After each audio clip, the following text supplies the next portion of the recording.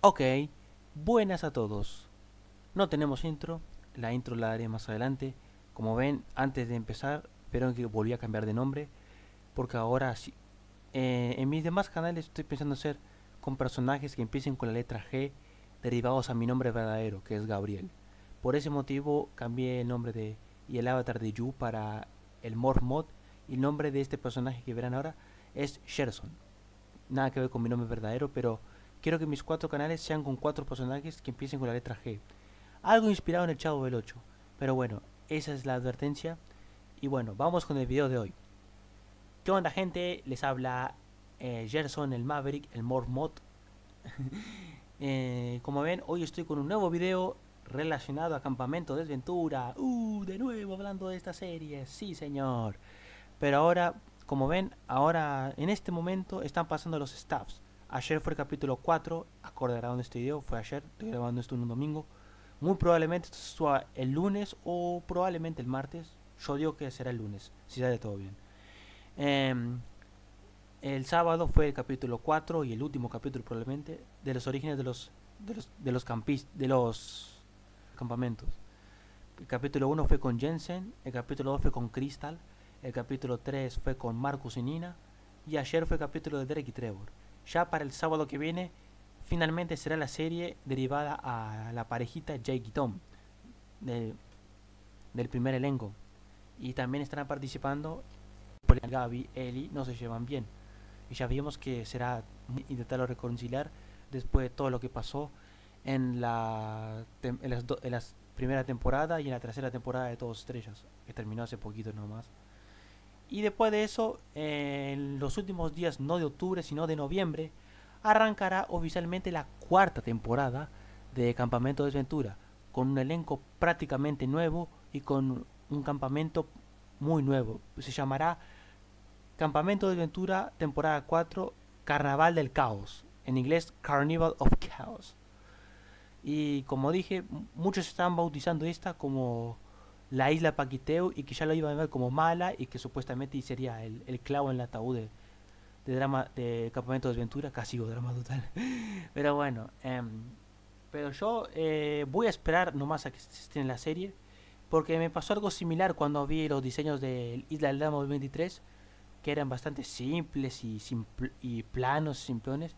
Pero cuando vi la serie, al menos la mayoría, no todos, pero al menos la mayoría, me cayeron de puta madre. Por eso me gustó tanto la temporada 1 como la temporada 2. La temporada 2 no me la terminé todavía, pero me la voy a terminar. Pero bueno, volviendo con Campamento de Aventura, ahora vamos a analizar lo poquito que sabemos del nuevo elenco, sus edades, sus nacionalidades y sus orígenes.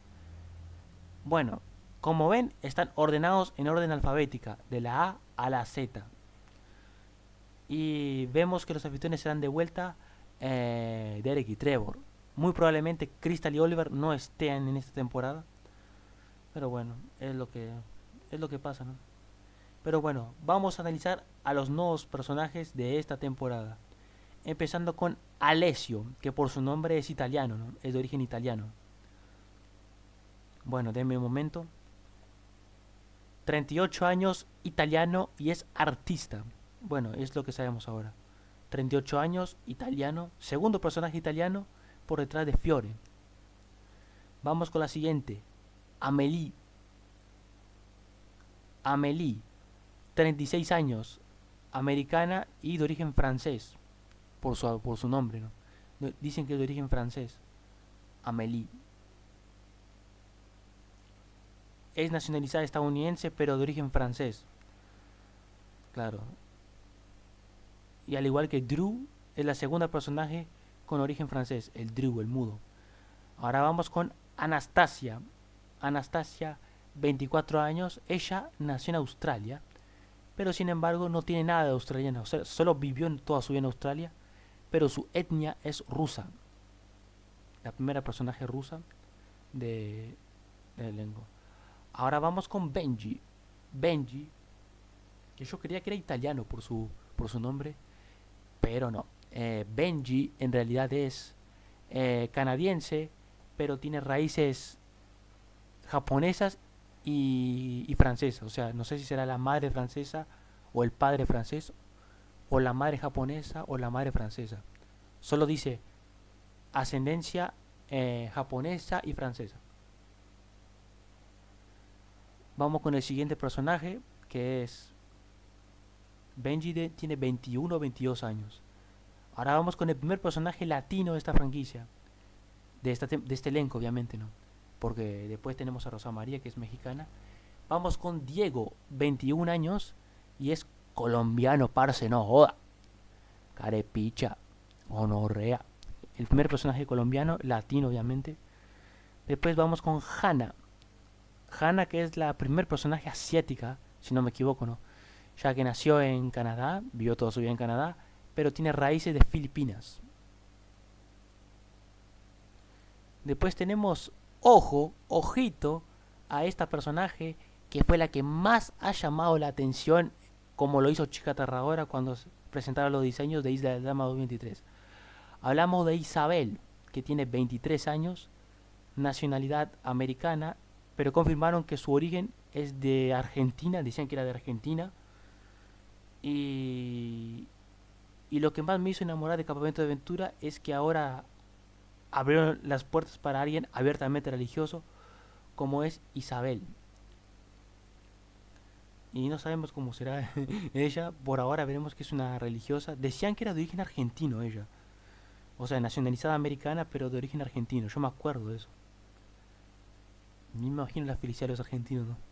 Bueno, vamos con Ivy o Ivy, no sé cómo se pronuncia. Es eh, americana, estadounidense, de origen de Dinamarca. Decían que era de origen de Dinamarca, porque ahora parece que modificaron la página de Campamento de Aventura, sacando los supuestos orígenes de los personajes. Después tenemos a Jade, otra inclusión más, que es una personaje con la enfermedad que sufrió Michael Jackson, ya que sufre de vitiligo. Es americana y de origen... Era de origen me acuerdo que decía que era de origen nigeriano, ¿no? Después tenemos a Logan. Logan de 20 años, de origen canadiense y supuestamente era de origen germano-irlandés. Bueno, yo soy en Canadá, pero de origen germano-irlandés. Después tenemos a Linda. Linda de 51 años, un año mayor que la, que la Lil decían que ella era de origen, bueno, creo que de Hungría, si no me equivoco, ¿no? Canadiense de origen húngaro. Después tenemos a Marisa. Marisa, que, que decían que era canadiense, eh, que era de origen africano, de, de, Sudáfrica, pero vivió toda su vida en Estados Unidos. Creo que es de origen sudafricano, ¿no? Nacida en el 98 o 99 y, y dice que tiene 25 años. Después tenemos a Natalia, Natalia, que, es otra personaje latina, 28 años. Me acuerdo que decía que era de origen puertorriqueño. Y confirmaron que es la, la, segunda mujer transgénero por detrás de Aiden, obviamente. Ya que Aiden había nacido mujer, pero se hizo hombre. Mientras que Natalia se ve como mujer, pero nació como hombre. Tiene 28 años y decía que era de origen puertorriqueño. Después tenemos a Richard, que tiene cara de vendedor de salchicha. Salchicha, 61 años. Es el personaje más, eh, más veterano, más longevo de esta temporada. La temporada 1 fue Miriam, la temporada 2 fue Connor y ahora la temporada 3 será el, el Richard, que es canadiense y decían que era de origen escocés.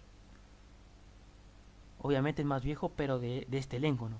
De la temporada 1 es Miriam, de la temporada 2 Connor, y si sumamos todos, la, la más vieja es Miriam, obviamente. Y de temporada 3 de este elenco, no, de temporada, de temporada 4 de este elenco será eh, Richard.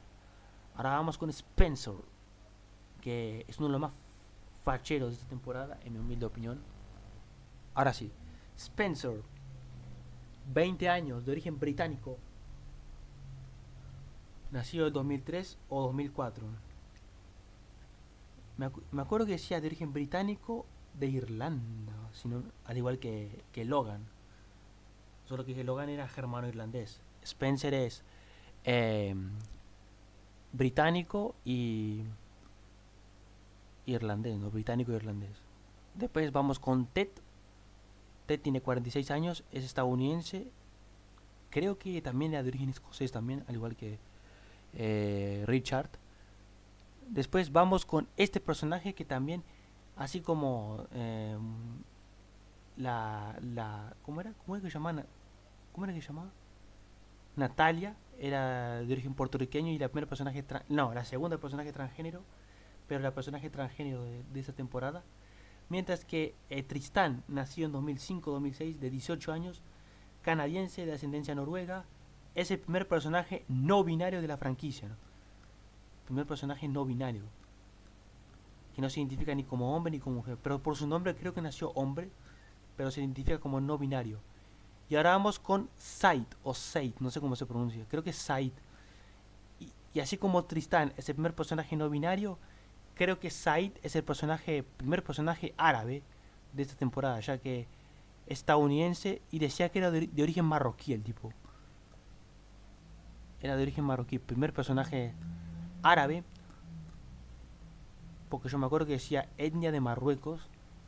No sé por qué sacaron la porque yo me acuerdo que decía las etnias de los, de los países, de los, de los tipos, ¿no? No sé por qué la sacaron. ¿Por qué la sacan, loco? Por el amor de Jesucristo. Joder. Y bueno. Y ustedes se preguntan, ¿cuál de estos personajes es mi favorito? Bueno, de los masculinos, yo voy por el marroquí Said. Por el, el no binario también me, gusta mucho. Y el que se ve más fachero es el Spencer, en mi humilde opinión. Y de las femeninas me gusta más la francesa Amélie. Eh, la francesa Amélie, creo que la, la, que me enamoré un poquito, pero la más dulce es la monja argentina Isabel. Y bueno, eh, hasta acá llegó mi análisis. Eh, espero que les haya gustado. Primer video con mi nuevo nombre. Ahora dando abierto al Gverse.